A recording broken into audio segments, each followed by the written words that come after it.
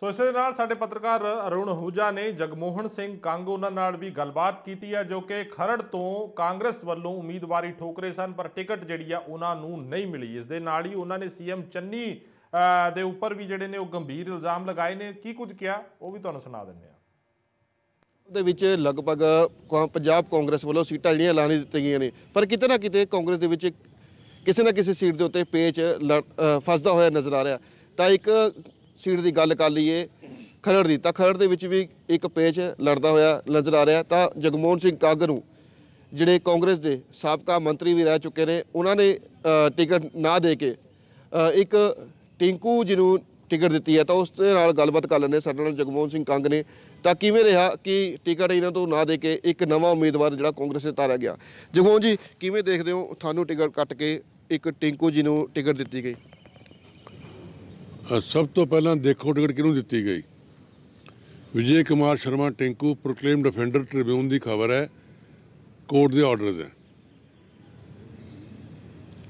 ਇਹ ਟਿੰਕੂ ਚਹਿਤਾ ਹੈ, ਚੰਨੀ ਚੰਨੀ ਦਾ ਬਿਜ਼ਨਸ ਪਾਰਟਨਰ ਹੈ। ਉਹ ਮਾਫੀਏ ਚ, ਸੈਂਡ ਮਾਫੀਏ ਚ, ਲੈਂਡ ਮਾਫੀਏ ਚ। ਇਹ ਬਿਲੋਂਗ ਕਰਦਾ ਹੈ ਮਰੰਡਾ ਨੂੰ, ਡਿਸਟ੍ਰਿਕਟ ਰੋਪੜ ਨੂੰ। ਚਰਨਜੀਤ ਚੰਨੀ ਨੇ ਪਹਿਲਾਂ ਟਿਕ- ਟਿਕਟ ਮਿੰਟ ਕਟਾਉਣ ਦੀ ਕੋਸ਼ਿਸ਼ ਕੀਤੀ ਕਾਂਗਰਸ ਜਿੱਤਣਾ ਨਹੀਂ ਹੈ। ਜੋ ਸਾਰੇ ਜਿਹੜੇ ਸਰਵੇ ਸੀ ਅਸੀਂ ਕਰਾਏ ਪਾਰਟੀ ਮੇਰੇ ਹੱਕ ਵਿੱਚ ਆਏ ਸਬੂਤ ਦੀ ਗੱਲ ਹੈ। ਉਸ ਗੱਲ ਦੇ ਦੀ ਫੇਲ ਹੋ ਗਈ ਕਿਉਂਕਿ ਆਪਣਾ ਭਰਾ ਇਲੈਕਸ਼ਨ ਹਾਰ ਗਿਆ ਸੀ ਇੱਥੋਂ। ਇਹਦਾ ਆਪਣਾ ਭਰਾ ਐਮਸੀ ਇਲੈਕਸ਼ਨ ਲੜਿਆ ਕੁਝ ਮਹੀਨੇ ਪਹਿਲਾਂ ਹਾਰ ਗਿਆ। ਫੇਰ ਇਹਨੇ ਕਿਹਾ ਹਿੰਦੂ ਸੀਟ ਹੈ। ਵੀ ਕਾਂਗ ਨੂੰ ਕਿਵੇਂ ਕੱਟ ਸਕਦੇ ਹਾਂ ਆਪਾਂ ਕਿਹੜੀ ਅ, ਦਲੀਲ ਪੀਲ ਦਈਏ। ਪਿਛਲੇ 50 ਸਾਲ ਵਿੱਚ ਲਗਾਤਾਰ ਜੱਟ ਸਿੱਖ ਜਿੱਤਦੇ ਆ ਰਹੇ ਨੇ। ਮੈਂ ਜਿੱਤਿਆ ਬਲਵੀਰ ਸਿੱਧੂ ਜਿੱਤਿਆ, ਬੀਰ ਦੁੰਦਰ ਜਿੱਤਿਆ ਵਿਚਿਤਰ ਸਿੰਘ ਪਰਿਵਾਰ ਜਿੱਤਿਆ। ਉਸ ਤੋਂ ਬਾਅਦ ਸਾਡੇ ਇਲਾਕੇ ਦੇ ਹਿੰਦੂ ਨੇ ਤਾਰਾਚੰਦ ਗੁਪਤਾ ਜੀ, ਨਟਰਾਜਨ ਕੌਸ਼ਲ ਨੂੰ ਆਫਰ ਕੀਤਾ। ਉਹਨਾਂ ਨੇ ਨਾਮ ਤੱਕ ਨਹੀਂ ਬਾਅਦ 'ਚ ਭੇਜਿਆ ਲਿਸਟ ਬਣਾ ਕੇ, ਟਿਕਟ ਦੇ ਦਿੱਤੀ ਟਿੰਕੂ ਨੂੰ। ਜੋ ਕ੍ਰਿਮੀਨਲ ਹੈ ਸਾਫ਼ ਠੇਕੇਦਾਰ ਹੈ ਰਬਰ ਸਟੈਂਪ ਹੈ, ਕਿਉਂ ਖਰੜ ਵਿੱਚ ਇਹਦੇ ਬੜੇ ਇੰਟਰਸਟ ਹੈ। ਇਹ ਖਰੜ ਤੋਂ ਹੀ ਇੱਥੇ ਪਹੁੰਚਿਆ ਹੈ ਪੈਸੇ ਕਮਾ ਕੇ, ਜ਼ਮੀਨਾਂ ਵੇਚ ਕੇ, ਕਮੇਟੀ ਵਿੱਚ ਪਾ ਕੇ ਬੱਚਾ ਬੱਚਾ ਜਾਣਦਾ ਹੈ। ਔਰ ਮੈਨੂੰ ਕਿਸੇ ਦੇ ਅਧਿਆਪਕ ਨੇ ਕਿਹਾ ਕੰਗ ਸਾਹਿਬ, ਇਸ ਤੋਂ ਬਚ ਕੇ ਰਹੋ। ਪੁਰਾਣੀ ਗੱਲ ਹੈ ਕਿ ਜਿੰਨਾ ਹੈ ਨਾ, ਉੱਪਰ ਉਹਨੇ ਹੀ ਥੱਲੇ ਹੈ। ਇਹ ਇਹਦੀ ਕਿਸਮਤ ਚ ਲਿਖਿਆ ਸੀ, ਇਹ ਬੜੇ ਜ਼ਿਆਦਾ ਟੂਣੇ ਕਰਾਂਦਾ ਹੈ, ਹਾਥੀ ਚੜ ਗਿਆ, ਟੈਲਾਂ ਲਵਾਤੀਆਂ, ਘਰ ਸਾਹਮਣੇ ਆਪਣੇ ਜਾ ਕੇ ਪਟਾਈਆਂ ਪ੍ਰਸ਼ਾਸਨ ਨੇ। ਮੀ ਟੂ ਦੀ ਕਹਾਣੀ ਇਹਦੀ ਸਾਰੀ ਦੁਨੀਆ 'ਚ ਫੈਲੀ ਹੋਈ ਹੈ।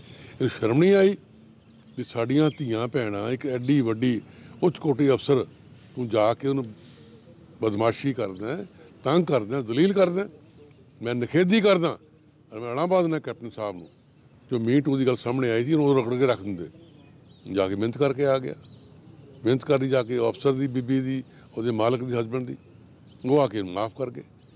ਇਹਦੀਆਂ ਤਾਂ ਬਹੁਤ ਮਾੜੀਆਂ ਕਰਤੂਤਾਂ ਸਾਹਮਣੇ ਆਣਗੀਆਂ ਜਦੋਂ ਬਣਿਆ ਸੀ ਦਲਤ ਮੁੱਖ ਮੰਤਰੀ ਸਾਨੂੰ ਬੜੀ ਆਸ ਸੀ।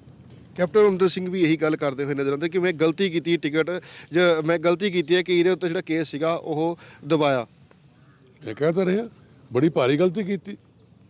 ਜਦੋਂ ਉਦੋਂ ਹੀ ਚੰਡਿਆ ਹੁੰਦਾ, ਸਵਾਰ ਕੇ ਘਰ ਬੈਠ ਜਾਂਦਾ। ਇਹਦਾ ਮੂੰਹ ਪੈ ਗਿਆ। ਇਹ ਬਹੁਤ ਵੱਡਾ ਰਾਵਣ ਹੈ। ਮੈਂ ਕੀ ਤੁਹਾਨੂੰ ਕਹਾਂ? ਛਾਤਰ ਹੈ। ਵੱਡਾ ਕਲਾਕਾਰ ਹੈ।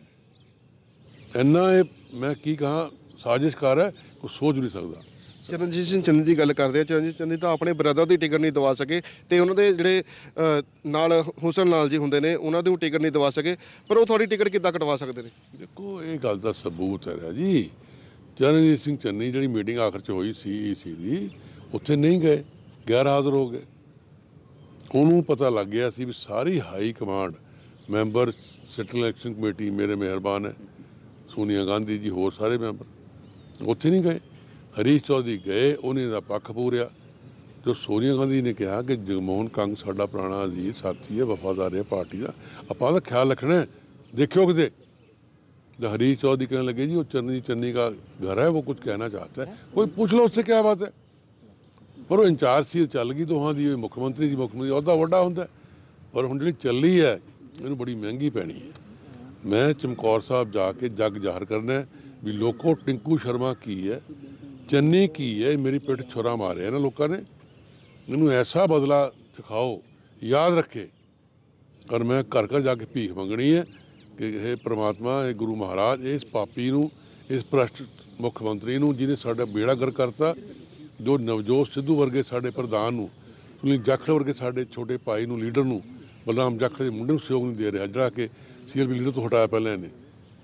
ਇਹਦਾ ਕੋਈ ਕਿਰਦਾਰ ਨਹੀਂ ਹੈ। ਕਿਸਮੇ ਲਿਖਿਆ ਸੀ, ਬਣ ਗਿਆ। ਲੇਕਿਨ ਮੈਂ ਫਿਰ ਅਪੀਲ ਕਰਦਾ ਹਾਈ ਕਮਾਂਡ ਨੂੰ ਜੇ ਸੋਚ ਸਮਝ ਕੇ ਇਨਸਾਫ ਹਾਈ ਕਮਾਂਡ ਕਰੇਗੀ ਤਾਂ ਮੇਰਾ ਗੁੱਸਾ ਠੰਡਾ ਹੋ ਸਕਦਾ। ਲੋਕਾਂ ਦਾ ਗੁੱਸਾ ਮੇਰਾ ਛੱਡੋ ਇਲਾਕੇ ਲੋਕ ਮੈਨੂੰ ਬਹੁਤ ਦੁਖੀ ਹੋ ਕੇ ਕਹਿ ਰਹੇ ਨੇ ਆਪਾਂ ਕਾਂਗਰਸ ਇਲੈਕਸ਼ਨ ਲੜਨਾ ਹੀ ਲੜਨਾ। ਤੁਹਾਡੀ ਹਾਈ ਕਮਾਂਡ ਮਾੜੀ ਹੈ ਚੰਨੀ ਉਸ ਤੋਂ ਮਾੜਾ ਹੈ ਕਿਤੇ ਨਾ ਕਿਤੇ ਚੰਨੀ ਤਾਂ ਇਹ ਵੀ ਕਹਿੰਦੇ ਹੋਏ ਨਜ਼ਰ ਆਉਂਦੇ ਕਿ ਸਲੋਗਨ ਇੱਕ ਬਣਾਇਆ ਗਿਆ ਕਿ ਘਰ ਘਰ ਚੱਲੀ ਗੱਲ ਚੰਨੀ ਕਰਦਾ ਮਸਲੇ ਹੱਲ ਘਰ ਘਰ ਚੰਨੀ ਦੀ ਗੱਲ ਮੀਨ ਟੂ ਦੀ ਭ੍ਰਸ਼ਟਾਚਾਰ ਦੀ ਮਾਫੀਏ ਸਭ ਦੀ ਘਰ ਘਰ ਗੱਲ ਚੱਲਦੀ ਹੈ। ਮਸਲੇ ਹਾਲ ਤਾਂ ਤੁਹਾਡੇ ਸਾਹਮਣੇ ਆਈ ਜਾਣੇ ਕਿਹੜੇ ਹੋਣੇ ਸਾਡੀ ਸਰਕਾਰ ਬਣਦੀ ਬਣਦੀ ਇਹਦੇ ਕਰਕੇ ਰਹਿ ਜਾਣੀ ਹੈ। ਸਾਡੀ ਸ਼ਾਖ ਗਿਰ ਰਹੀ ਹੈ ਜੋ ਦੀ ਕਰਤੂਤ ਹੈ। ਤੇ ਕਲੀ ਦਲ ਨੂੰ ਛੱਡ ਗਿਆ ਤਾਂ ਮੈਂ ਸਮਝਦਾ।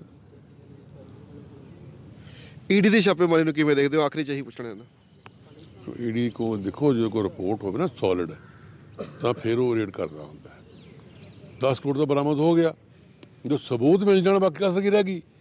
ਜੋ ਪਤਾ ਲੱਗਿਆ ਸੂਤਰਾਂ ਤੋਂ ਕਿ 68 ਕਰੋੜ ਰੁਪਏ ਟ੍ਰਾਂਜੈਕਸ਼ਨ ਹੈ ਲੈਣ ਦੇ 68 ਕਰੋੜ ਰੁਪਏ ਦਾ ਕਾਗਜ਼ਾਂ 'ਚ ਉਹ ਸਾਹਮਣੇ ਆ ਰਿਹਾ। ਇਹ ਚੰਨੀ ਬਚ ਕੇ ਨਹੀਂ ਜਾ ਸਕਦਾ ਹੁਣ ਇਹਨੂੰ ਹੱਥਕੜੀ ਲੱਗਣੀ ਹੈ ਇੱਕ ਦਿਨ। ਦੇਖਿਓ ਤੁਸੀਂ ਜੋ ਦੀ ਕਰਤੂਤਾਂ ਹੈ, ਧੰਨ ਹੈ ਬੀਬੀ ਵਿਚਾਰੀ ਸਾਡੀ ਉਹ ਆਈ ਹੈ ਜਿਹਨੇ ਛੱਡਦਾ ਇਹਨੂੰ ਮਾਫ ਕਰਤਾ। ਜਿਹਨੇ ਉਹਦੇ ਰਗੜਾ ਦਿੱਤਾ ਹੁੰਦਾ ਇਹਨੂੰ ਲੱਗਦਾ ਪਤਾ ਧੀ ਪੈਣ ਦੀ ਇੱਜ਼ਤ ਕੀ ਹੁੰਦੀ ਹੈ। ਮੈਂ ਜਾ ਕੇ ਦੱਸਾਂਗਾ ਕਰਤੂਤਾਂ ਇਹਦੀਆਂ ਚਮਕੌਰ ਸਾਹਿਬ 'ਚ। ਫਿਰ ਹੁਣ ਲੜਾ ਰਹੇ ਹੋ ਆਪਣੇ ਬੇਟੇ ਨੂੰ ਚੋਣ ਤੇ? ਸੋਨੀਆ ਗਾਂਧੀ ਜੀ ਰਾਹੁਲ ਗਾਂਧੀ ਕਿਰਪਾ ਕਰਨਗੇ ਇਨਸਾਫ ਕਰਨਗੇ ਤਾਂ ਮੈਂ ਇੱਕ ਸਿਪਾਹੀ ਕਾਂਗਰਸ ਪਾਰਟੀ ਦਾ ਬਣ ਕੇ ਰਹਿਣਾ ਚਾਹੁੰਦਾ।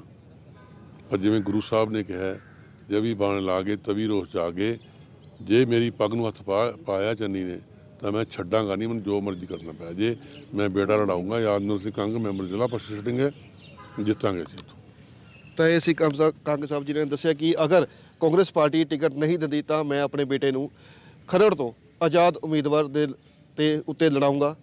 ਚੰਡੀਗੜ੍ਹ ਤੋਂ ਵੀਡੀਓ ਜਰਨਲਿਸਟ ਮੋਹਿਤ ਦੇ ਨਾਲ Sandeep Singh India News Punjab. So ਫਿਲਹਾਲ ਇਸ ਬੁਲੇਟਿਨ ਦੇ ਵਿੱਚ ਇੰਨਾ ਹੀ। ਮੈਨੂੰ ਬਲਦੀਪ ਸਿੰਘ ਦੀ ਇਜਾਜ਼ਤ ਤੇ ਇੰਡੀਆ ਨਿਊਜ਼ ਪੰਜਾਬ ਦੇ ਉੱਪਰ ਖਬਰਾਂ ਦਾ ਸਿਲਸਿਲਾ ਲਗਾਤਾਰ ਜਾਰੀ ਹੈ।